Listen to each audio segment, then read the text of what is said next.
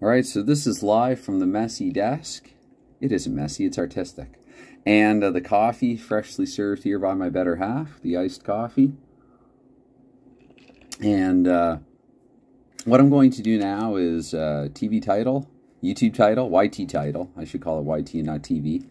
Uh, this is going to be game number 52 of 112, and this will be a match between the, the uh, Quebec Nordiques and the Edmonton Oilers.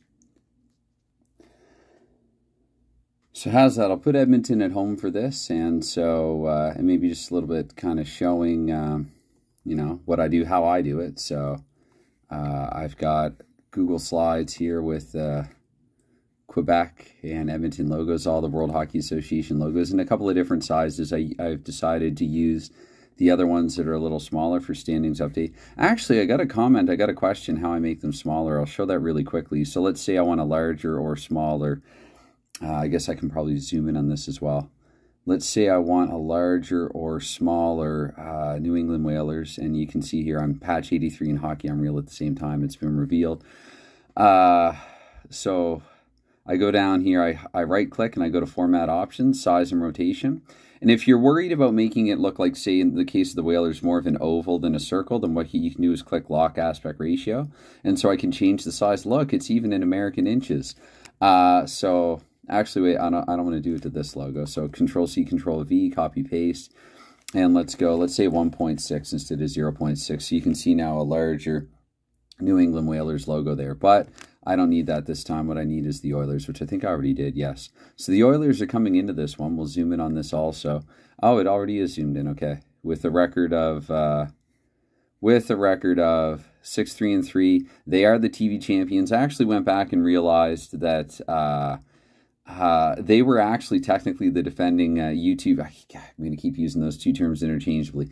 The defending YouTube champions, and uh, so I'm glad that they beat the Whalers. That's what I'm trying to say here. Because the Whalers, I don't know if I should have appointed them champions or not.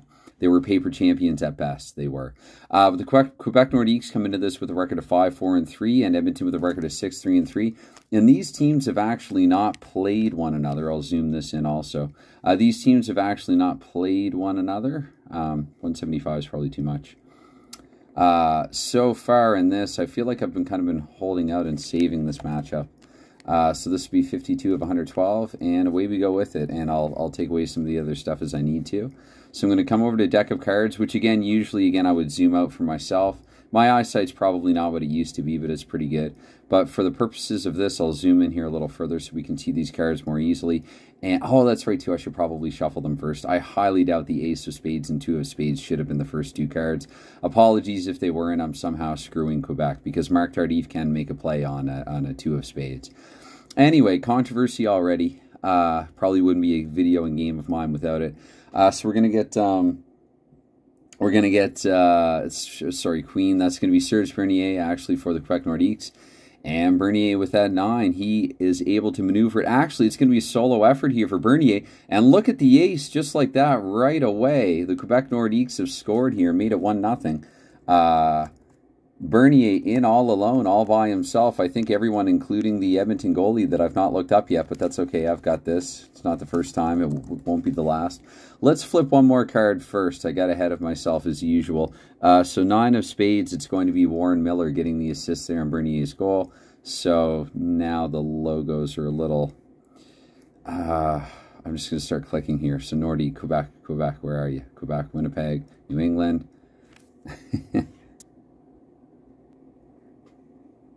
Wow, so I might put the team cards back up, but I just realized when I'm zoomed in, there's a little arrow over here that I need to click in order to get uh, to Quebec. So, Quebec, Bernier, that's going to be a sixth.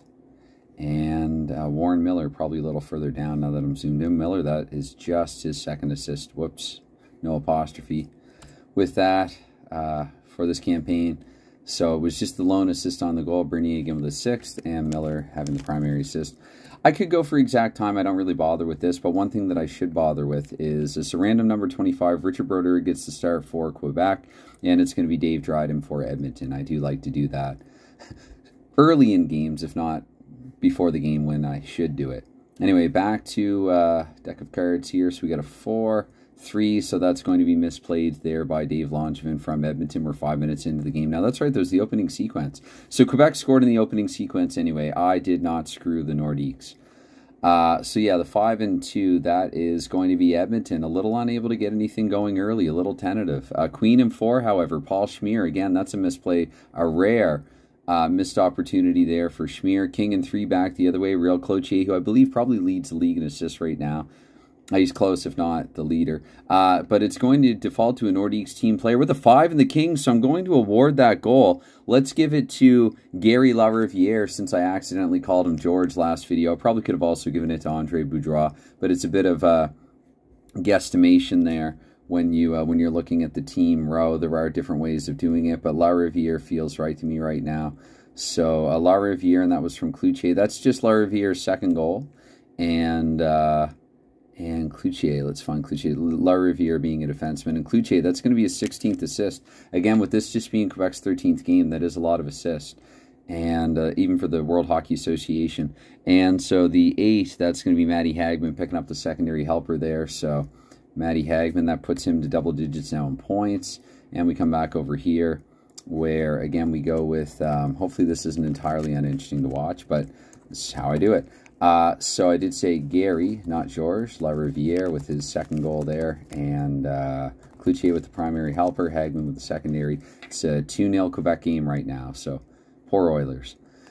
Uh, 12 and a half minutes in here. Let's get us up to the 15 minute mark for that six. So it's going to be Edmonton with another possession. This one's guaranteed to get through. Juha Widing, he had a good game last time in Cameron with the 7 and the 10. It's going to be Widing to Micheletti. Micheletti tees off from the point, and now we have a one goal game here. Again, a competitive game. I should erase that note about the first period.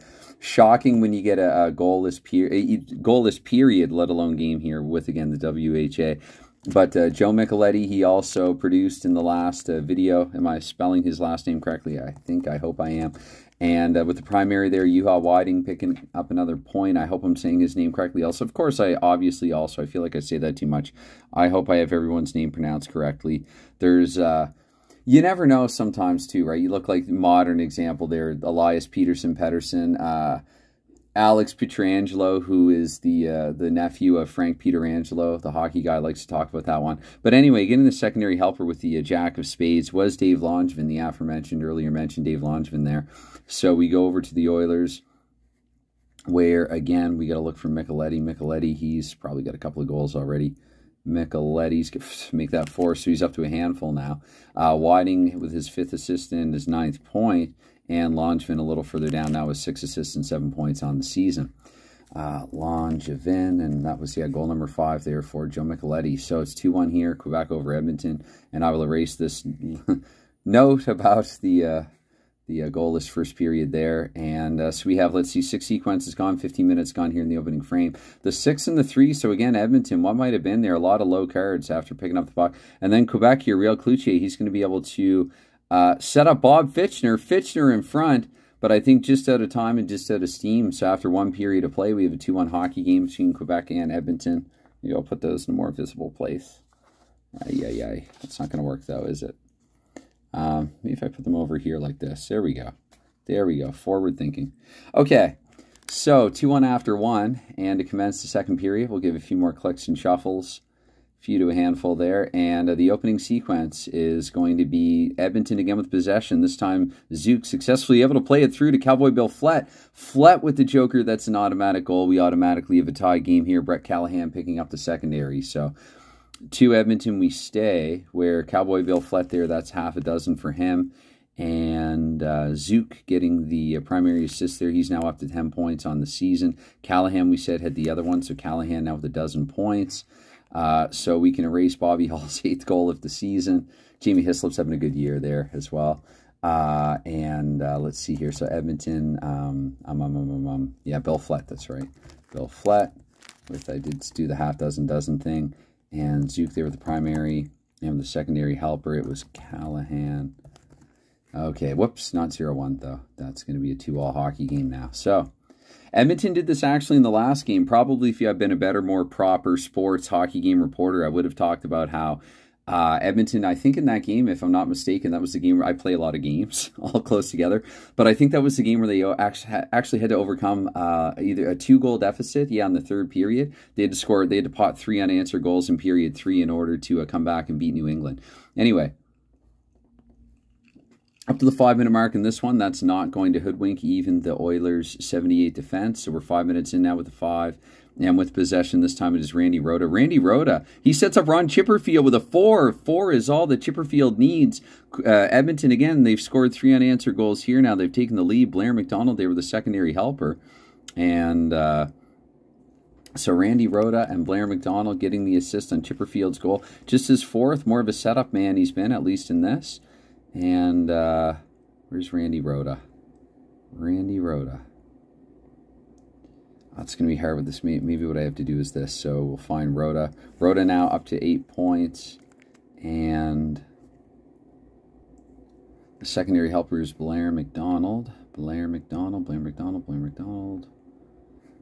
It's going to be up a little further. Yes, he is. Still, it's kind of a slowish start for him, though, I feel like. Guy who scored 46 goals two seasons later. Playing on a line with Gretzky will help with that. Anyway, so we're up to the uh, midway point here of reg regulation, and I don't play overtime. Jean Bernier, that's going to be fed through to four. Marc Tardif, Tardif, a little lower down on the card for this one where he needs a 5 to 10 instead of a 2 to 10. So didn't luck out there. Anyway, 6 and 3, so that there's going to be nothing happening in this play either. 12 and a half in now up to the 15 minute mark with the 6 and the 7. It's going to be Widing. Widing here. He's going to make a play to Al Hamilton. Hamilton with a blast, but that is going to be stopped by Richard Brodeur. So six and ten here now, two and a half minutes to go. Baxter, Baxter on and through. Baxter to Bernier looking for another, but he needed two more. He needed a five there. But Tardif, however, Quebec keeping the pressure on. Tardif aces his way through to a team player. I think this worked for Quebec earlier, so I'm going to say Tardif to Baxter with the eight, and the Quebec Nordiques have tied it here at three. Oh, I forgot to update a goal. All right, that was a little unsuccessful task switching, but it's going to be three-all game. Now, it's tail end of the second period, I think, right? Eighth sequence, just uh, even though I'm not going to keep exact time for this one. So, the Quebec Nordiques, whoa, dear. Tardif again, successfully feeding it to, oh, why do I keep hitting tab instead of caps lock? Uh, feeding it to someone unsuspecting. Though I think Baxter, that's that's definitely not his first goal uh, Baxter. Sometimes what I do as well, like I could actually have two spreadsheets open, one for Quebec and one for Edmonton. Sometimes I do it that way also. That is just Baxter's second. Baxter and Tardif, he's I think tied with Robbie Ftorek now. I'm curious. Uh, 12 and 26. Yep. So 12 goals, 26 points there. And uh, so Tardif. And did I get a secondary for this one? No, I did not. Queen of Spades on Quebec. That would give the assist to a guy who got off to a hot start. He's gone ice cold. Christian Bordeleau. And some, like five of these seven points he got in a couple of earlier videos there at the season's uh, beginning, the condensed season's beginning. So for Baxter, that was his second from Tardif. And I do have to put C. Bordeleau because he's not the only one uh, playing for the Quebec Nordiques. There's also Paulin Bordeleau. Okay. And, uh, might have caught that. That was my better half sneezing in the other room. And we commence the third period. So 9-5, 9-5, 9-5. Jean Bernier unable to make anything happen with any success. Three here, three in King here for Quebec. It's allergy season over here. Uh, so that is that's going to actually stymie the Edmonton defense. So it's going to be Cloutier. Was that Cloutier? Yeah, Cloutier on to Queen. Got to pay attention here in real time. Paulin Bordeleau has put Quebec ahead here with a six of clubs. That's going to be J.C. Tremblay getting the secondary. So Paulin Bordeleau, that's his ninth. Just the one assist here. We call that a Cy Young candidate. Uh, Paulin Bordeleau, let's take away this notes and stuff about Winnipeg. So Quebec, we've had a few lead changes in the game. I like my lead changes. Uh, so, whoops, I hit tab again instead of caps lock. Okay, Quebec, Paulin Board. I, you know what? I should just hit the shift button and not be so lazy. Uh, Paulin Bordeleau. Okay, Paulin Bordeleau with his ninth. Sorry if it's annoying watching me not type very well. And it was Cloutier there getting it on to him. And the secondary helper we did say was... Uh, we said it. Oh, JC Tremblay, that's right. I don't really have to put JC, though. There is only one Tremblay in this team. Anyway, so it's 4-3 Quebec now, and I should double check there because Cloutier, I did not give him his... I know that he came into... Oh, did I? Huh. No, I think that's another assist for him, right? He came into the game with 15. Yeah, he's had two helpers here now. And uh, Tremblay not doing too hot, just seven, uh, seven points, I guess. All assist. Uh, so we go back to it up to seven and a half minutes here in period three, where Quebec or Edmonton again, the six and the four. Let me see here if Brett Callighen can make anything happen with the Queen. Yes, he can on the Quebec defense. Gets it to Ron Chipperfield. Chipperfield with a pair, chipping in with a pair. And the spade, that's going to be Joe Micheletti with a secondary helper. So it was Micheletti, I believe Callighen started that rush. Callighen and Chipperfield got the goal. Micheletti got the secondary helper. Okay, so Chipperfield up to goal five. And Callighen, I guess, now up to 13 points. And Micheletti, that'll give him one more assist and goal. So that's going to put him at 11 points. And uh, have I updated it here? No, I have not. Uh, so we have a 4-4 game. I guess it, Edmonton would defend their title with a draw. I'm not going to do overtime because that would just throw everything off. Uh, so it was Ron Chipperfield with his second of the game. I'll see if I can find a nice hockey card of him should Edmonton uh, prevail here. And uh, Callighen got the rush going, and Micheletti also probably fed it to Callighen to get things started. So we got 10 minutes to go here in the game where Quebec immediately, it's going to be Cloutier. That will penetrate the Edmonton defense. To a team player, Quebec, their bench chipping in in this one. Let's say uh, Warren Miller this time. Warren Miller with the seven. That's exactly, absolutely what they need. So Quebec multiple, multiple lead changes here. Paul Baxter with the secondary. So it was Cloutier setting up there with another helper. Uh, Cloutier, so let's let's update it here first. We'll go uh, we'll go five four Quebec, and uh, it is uh, I'm going to give that one to Warren Miller, another Quebec team player. Cloutier and I believe I said Baxter. Double check the card here. Short from memory when I'm nervous. Yes, Baxter. Okay, so Miller from Cloutier and Baxter. Let's go back to the Quebec Nordiques and let's go down to Warren Miller and waiting for the air conditioning to kick in. Uh, Warren Miller here, goal number four from Cloutier. That's going to be assist number nine, 18. Yeah, 16, 17, 18, right. And so, as advertised, Cloutier is setting up everybody, and not Bob Fitchner, but Paul Baxter. Paul Baxter up to nine points now. He's had a multi-point night here if this is night. So, seven and a half minutes to go. Quebec looking to add to their lead, but they're jokered out. I don't care what the next card is. Uh, so, the Blackjack, since that's the first in the sequence, that would benefit Gary La, La Riviere, except that actually uh, the Edmonton defense, they've sent him down the river. So 4 7 4 7. That is Tardif. Tardif will be able to make a play. All Quebec here late in the game. And uh, because this is the final sequence, isn't it? So Tardif with the 4 and the 7 here. I can't get ahead of myself too much here. Tardif 4 and 7 and 6 and 3. 1, 2, 3, 4, 5, 6, 7, 8. Yeah. So especially when you're kind of not paying attention, this game can really go by really quickly. That was Warren Miller's fourth goal. And uh, that's going to make it a 5-4 Quebec final score. So if you are a fan of Le Nordiques, uh, they are now your TV champions. Again, they were 5-4 and 3 coming into this. They will improve the record to 6-4 and 3, where Edmonton's will also fall similarly. Allow me to double check on that. And uh, let's, you know what, let's Google Ron Chipperfield hockey cards together. Ron Chipperfield, Edmonton Oilers hockey cards. Sometimes I would put the year. For him, I'm just going to start with Ron Chipperfield, Edmonton Oilers and hope that Google doesn't, you know, show anything inappropriate because you would be surprised. I like this autograph picture of him. I think I'm not going to shop around. I think I'm just going to take this immediately. It is a JPEG image. I had a couple of cards here of Dean Prentice here earlier from the Rangers game. I think I took the better one, the Rangers game that I uploaded. So World Hockey Association, I think I do have to start dividing these by team. I'm just a little lazy. Edmonton, and I don't have a Chipperfield card yet. It's not really a card, but a photo. So the Chipperfield photo can go in if you're posting on pair on uh, the penalty box on um, goodness goodness goodness what's this oh delphi wow there's the word that i forgot all right time for me to stop recording and take a break uh, actually normally i put the photo a little lower so now annoyingly i have to wait until it's 100% yeah that's not where i want it uh, not in edmonton's record so chipperfield I whoops. I guess I could do cliche and cheesy and say Chipperfield chipped in with a couple, something like that.